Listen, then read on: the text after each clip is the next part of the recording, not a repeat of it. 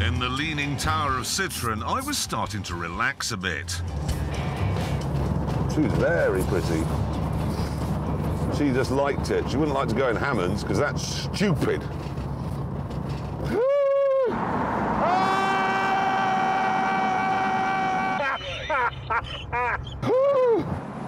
Jeremy, can I just say this is the biggest entertainment I've had on a road journey in my whole life. It's absolutely hilarious.